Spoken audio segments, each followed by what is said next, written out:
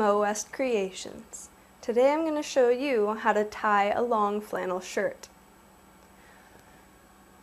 Long flannel shirts are great for autumn and winter layering and to emulate that nostalgic 90s grunge look. They can also be rather boxy and bulky.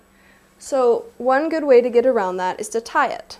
So to start with, you're going to button it up as low as you're going to want your shirt to be, say about belly height. Then you're going to gather up these two ends here, just like this, and just cross them and tie.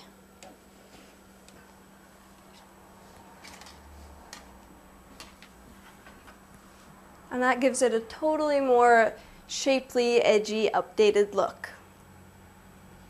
This has been Mo of Mo West Creations, showing you how to tie a long flannel shirt. Ciao!